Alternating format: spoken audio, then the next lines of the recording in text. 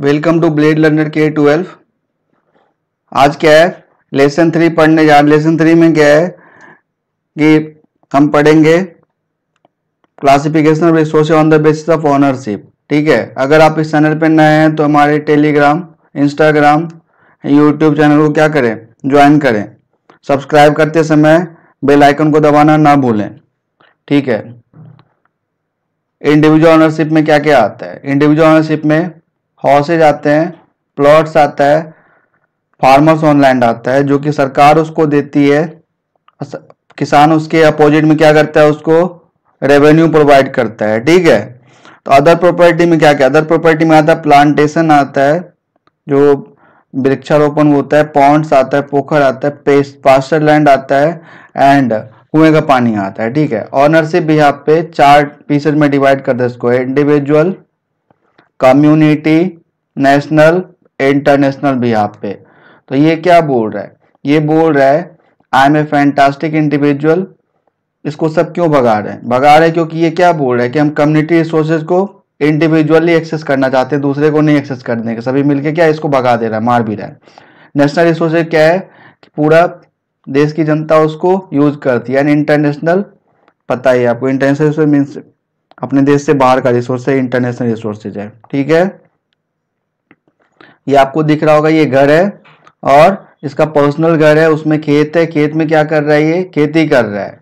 और क्या कर रहा है? खेती करते समय ये बहुत खुश है, ये क्या कर दी? सारे एम्प्लॉय को अपने खेती पे काम पे लगा दी और उसके कैप पोखरा भी यहाँ पे, ठीक है? पानी हो रहा है। और शिप को ग्रेजिंग करने के लिए ग्रेजिंग फ़ील्ड भी है इसमें वेल भी है। तो ये ड्रैकुला क्या बोल रहा है? दिस इज़ ऑल माइंड ये बोल रही है इट्स माइंड माइंड और ये बोल रहा है दिस इज़ माइंड लेकिन ये रॉक क्या बोल रहा है? रॉक बोल रहा है डीपली कंसर्न टू मी ये जो एरिया ये इसका रॉक का इंडिविजुअल रिसोर्सेज है। इसको कोई और आदमी एक्सेस नहीं करेगा, ठीक है? ये क्या है? कम्युनिटी रिसोर्सेज में हम क्या बात कर रहे हैं? कम्युनिटी रिसोर्सेज में। इसमें क्या है कि ये बोल रहा है सबसे पहला जी देखेंगे, इसमें बोल रहा है इसको सभी इक्वली एक्सेसिबल कर सकते हैं। तो ये दूसरा बोल रही है ऑल ऑफ़ देम क्या सारा? हाँ बोल रहे है हाँ। तो तीसरा जी क्या बोल रहा है कि ये जो हमको दिख रहा है, खेत जो है, जहाँ पे हम चराने जा रहे हैं पब्लिक प्लेसेस में, क्या इसको सब एक्सेस कर सकते हैं? बिल्कुल कर सकते हैं। ग्रेवी यार्ड को एक्सेस कर सकते हैं। देखिए ग्रेवी यार्ड ले जा रहा है डेड बॉडी को। ये क्या है? सभी एक्सेस कर सकते हैं। ये जो पोखरा है, इसको सभी एक्सेस कर सकते हैं। बिल्कुल एक्सेस कर सकते हैं। इसमें क्या है, कितना खूबसूरत मछली है पब्लिक और ये बच्चा जो है, इसमें क्या है बच्चा? ये जा रहा है वहाँ पे पब्लिक पार्क को एक्सेस करने के लिए। सब एक्सेस कर सकते हैं। ये इसको शाबाशी दे रहा है। बोल रहा है, जाओ, जीत के आओ। ठीक है? और ये इसको क्या बोली? ये इसको बोली ऑल द बेस्ट क्या बोली? ऑल द बेस्ट लेकिन लेकिन, ये क्या बोल रही है? डोंट प्ले मत खेलना। क्योंकि ये क्या बोल रही है? ये इसको ऑल द बेस्ट बोल रही है। लेकिन ये बंदा क्या किया? जीत के आ गया खेल के। ठीक है? ये प्ले ग्राउंड है। मतलब इतना बताने का कहानी मतलब क्या था? Playground picnic spot public park village ponds burial ground grazing ground ये सभी क्या है? इसको सभी इक्वली एक्सेस कर सकते हैं। ये हमारे कम्युनिटी रिसोर्सेज का पार्ट है। देखिए नेशनल रिसोर्सेज में इस नेशनल रिसोर्सेज में हमारे कंट्री का जो रिसोर्स है नेचुरल रिसोर्सेज होता है। ठीक है? कंट्री के पास क्या है? लीगल पावर है। क्या लीगल पावर है? किसी भी प्राइवेट प्रॉपर्टी को उस रास्ते से यदि कोई कैनाल बनने जा रहा है, उस रास्ते से कोई कैनाल बनने जा रहा है, कोई रोड बन रहा है, ठीक है, कोई ब्रिज बन रहा है यदि, ठीक है तो क्या कर सकता है सरकार उस प्रॉपर्टी को प्राइवेट प्रॉपर्टी को एक्वायर कर सकता है किस लिए? पब्लिक गुड के लिए, ठीक है? ये नेचुरल रिसोर्सेज में क्या क्या आता है? Natural national sorry national resource में क्या क्या आता है? नेशनल रिसोर्सेज में आता है मिनरल आता है वाटर रिसोर्सेज आता है फॉरेस्ट आता है वाइल्ड लाइफ आता है लैंड आता है। ये सभी से रिस्पेक्टेड जीएफ दे रखा है। वो मिनरल्स में मैंने डाल रखा है यहाँ पे। डायमंड इसको मिला। ये लड़की गया कि? वाटर रिसोर्सेज पानी फेंक रही है सब पे। खुशी का ठिकाना नहीं है। फॉरेस्ट में क्या मोंगली डांस कर रहा है और साथ में भालू भी डांस कर रहा है। ठीक है? वाइल्ड लाइफ बता रहा है। ऐसे याद रखेंगे। इस अब इस जी को देखेंगे, ये इंडिया का रिसोर्सेज बोल रहा है, बहुत बिगर रिसोर्सेज है, ये बोले लीगल फेरा लगेगा क्या लीगल फेरा लगेगा?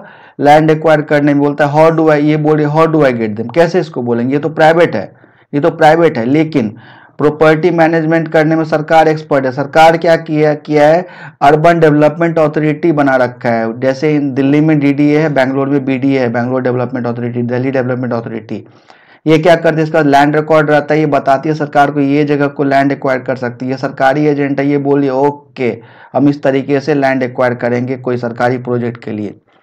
नेशन का जो टेरिटोरियल वाटर है, उसके बारे में डिस्कस करेंगे। मीन्स हमारे इंडिया का मैप के चारों, तीन तरफ़ पानी है, ठीक है? यहाँ पे कितना एरिया का बात कर रहे हैं? ये बात कर रहे हैं हम ट्वेल्व नॉटिकल माइल का, ठीक है? बारह नॉटिकल माइल मतलब होता है बाईस दशमलव दो किलोमीटर। बारह नॉटिकल माइल के बाद का, बारह नॉटिकल माइल के पास का जो पानी होता है, उसको हम क्या बोलते हैं? उसको बोलते हैं territorial water. Territorial water territorial water में क्या होता है कि रिसोर्सेज जो होता है, रिसोर्सेज जैसे ये, उसको वहाँ पे हम कोई भी, हम रिसोर्स यूज़ कर सकते हैं। हमारे इंडिया का नेशनल रिसोर्सेज है टेरिटोरियल वाटर का रिसोर्सेज, ठीक है? तो जैसे ये क्या बोल रही है? बोल रही है ट्वेल्व पॉइंट्स। ट्वेल्व पॉइंट्स मतलब ट्वेल्व नॉटिकल माइल, बाईस दशमलव दो किलोमीटर के अंदर, ठीक है? तो ये बोला ठीक है you are in our territory मतलब 12 नॉटिकल माइल के अंदर जो भी मिलता है, वो हमारा रिसोर्सेज इंडिया का नेशनल रिसोर्सेज हो गया। तो इसमें क्या होता है कि हम बात करते हैं इंटरनेशनल रिसोर्सेज का। इंटरनेशनल रिसोर्सेज में क्या है कि उसको एक्सेस करने के लिए हमको इंटरनेशनल इंस्टीट्यूशन से परमिशन लेना पड़ेगा, क्योंकि इंटरनेशनल इंस्टीट्यूशन उसको रेगुलेट करती है सारे इंटरनेशनल रिसोर्सेज को। तो हमें पता रहना चाहिए इंटरनेशनल रिसोर्सेज होता क्या है। मतलब इसमें 200 नंबर याद रखेंगे। ये जी आई 200 नंबर बता रहा है। 200 नॉटिकल माइल के बियॉन्ड मतलब उसके बाद। बियॉन्ड मतलब बाद। उसके बाद वाला एरिया जो होता है, उसको हम नाम दे दिए ओपन रिसोर्सेज ओपन रिसोर्सेज मतलब क्या है कि वहाँ पे उसके बाद का एरिया के रिसोर्स को यूज़ करने के लिए हमको किसका परमिशन लेना पड़ेगा? परमिशन लेना पड़ेगा इंटरनेशनल इंस्टीट्यूशन का, क्योंकि वो इसको क्या करता है? रेगुलेट करता है उस रिसोर्सेज को। किस रिसोर्सेज की बात कर रहे हैं? Open resources. ओपन रिसोर्सेज क्या होता है? 200 नॉटिकल माइल के बाद वाला रिसोर्सेज जो होता है, ओपन रिसोर्सेज होता है। ठीक है, किसमें? एक्सक्लूसिव इकोनॉमिक जोन जिसको हम शॉर्ट में ईजेड e भी बोलते हैं। ठीक है, ये डायग्राम दे रखा है क्योंकि चाइना का नाइन डैश लाइन बहुत पॉपुलर इशू है तो नाइन डैश लाइन का इशू जो कि ईजेड e से रिलेटेड है, इसलिए मैंने यहाँ डाल रखा है। इंटरनेशनल इंस्टीट्यूशन का आईएसए इंटरनेशनल सीबेड अथॉरिटी है, उसका हेड का, उसका हेडक्वार्टर कहाँ पे है? हेडक्वार्टर है जमाइका में। ठीक है तो ऐसे हम इसको याद कर सकते हैं।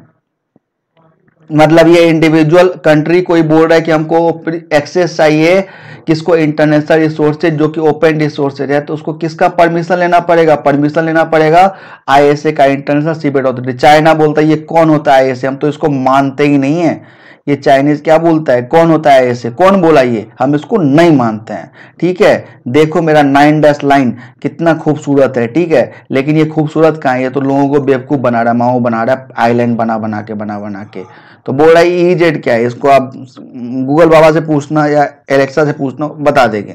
ठीक है? तो इसमें क्या है कि ये पूछ रहा है कि समझे कि नहीं? हाँ बिल्कुल। ये तो दूसरा आंसर बोल रहा है, इतना तो मैं समझ गया हूँ। इतना तुम समझ गए, तभी शाहरुख खान आया बोतल लेके। क्या बोल रहा है? भाई, इतना तो समझ गया। पिक्चर तो अभी बाकी है मेरे दोस्त, ठीक है? तभी ये पूछ रहे कि अंडरस्टूड हाँ समझ गए, ठीक है? आज के थॉट में टूडेज थॉट में क्या है? कलाम भाई को लाए। किसको? कलाम भाई को। ये मतलब क्या बोले इनके बारे में? इनके बारे में मेरे पास वर्ड नहीं है। I am wordless speechless it means God's gift बोल सकते हैं। हमारे कंट्री को मिला था एपीजे अब्दुल कलाम ठीक है?